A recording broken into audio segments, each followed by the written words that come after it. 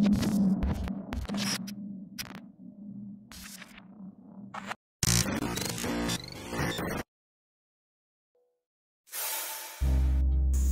everyone!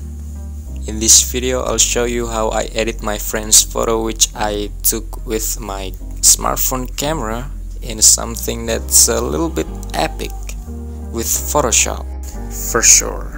But first of all I'm sorry for my bad grammar and pronounce in English cause uh, this is my first time of me speaking English.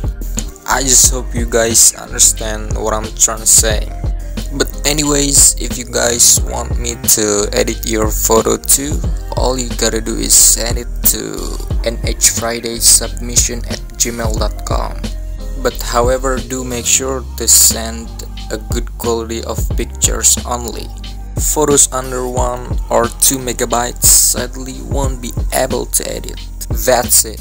Now without wasting any more time let's jump into it